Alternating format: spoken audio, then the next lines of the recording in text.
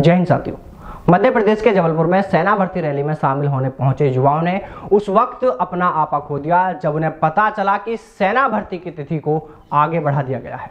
सेना भर्ती में शामिल होने पहुँचे बड़ी संख्या में युवाओं ने रात्रि 12 बजे बड़ा हंगामा मचाते हुए दुकानों में तोड़फोड़ कर दी। कॉलोनियों में पत्थर फेंके और साथ ही कई लोगों के साथ बदतमीजी करने की भी खबरें सामने आ रही है। इसके बाद युवाओं के बढ़ते हंगामे और तोड़फोड़ को देखते हुए भारी संख्या में पुलिस बल और सेना के जवानों द्वारा युवाओं पर लाठीचार्ज करते हुए उन्हें खदेड़ दिया गया।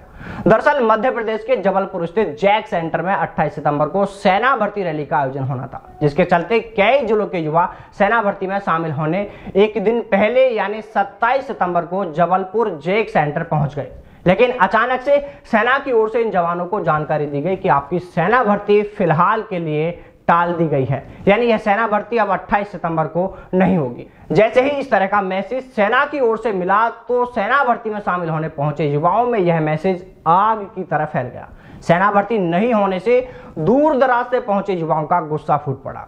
और रात्रि 12 बजे बड़ी संख्या में युवा एकत्रित हुए और फिर इन युवाओं ने मोदी बाड़ा क्षेत्र में हंगामा करते हुए दुकानों मकानों में पथराव किया। जिससे क्षेत्र के लोगों में एक बार की दहशत फैल गई। इसके बाद लोगों ने पुलिस को सूचना दी। पुलिस ने मौके पर जाकर देखा कि युवाओं की संख्या काफ़ी ज़्यादा है और वो किसी की सुनने को तैयार नहीं है, जिस पर पुलिस ने मौके पर वायरलेस से पुलिस अधिकारियों को इसकी जानकारी दी और इसके बाद भारी संख्या में पुलिस बल मोदीवाड़ा पहुँच गया। जब युवाओं ने देखा कि पुलिस बल ज़्यादा है और सभी लाठीचार्ज के हिसाब से आए हैं और उनके साथ में वज्र वाहन भी है तो यह सब देखकर उत्पात मचाते हुए युवा गलियों में भागने लगे। इतने में ही पुलिस के जवानों ने युवाओं पर लाठीचार्ज कर दिया। जानकारी यह भी आ रही है कि युवाओं के उत्पात मचाने को लेकर सेना के अधिकारियों को भी इसकी जानकारी दी गई, जिस पर सेना के जवान भी मौके पर पहुँच गए और उन्होंने भी युवाओं के साथ लाठीचार्ज किया, बल प्रयोग किया।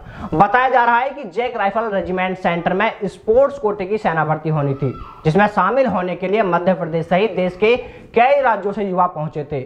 हालाँकि एक जानकारी ऐसी भी आ रही है कि सेना भर्ती तो चल रही है, लेकिन पर्याप्त युवाओं के पहुँचने पर इन युवाओं को अंदर प्रवेश नहीं दिया गया, जिस पर इन युवाओं ने उत्पात मचा दिया।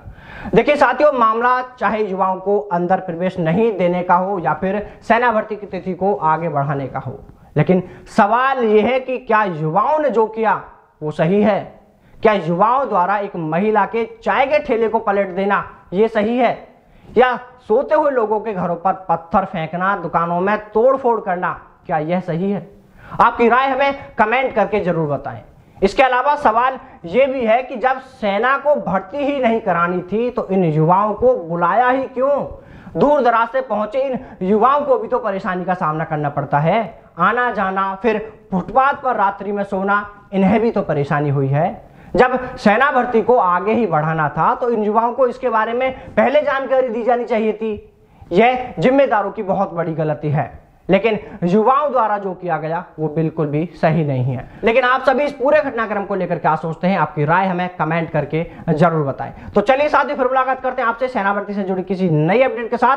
तब तक सावधान रहें, दलालों से दूर रहें, अपना और अपनों का ख्याल रखें। जय हिंद, जय भारत, वंदे मातरम।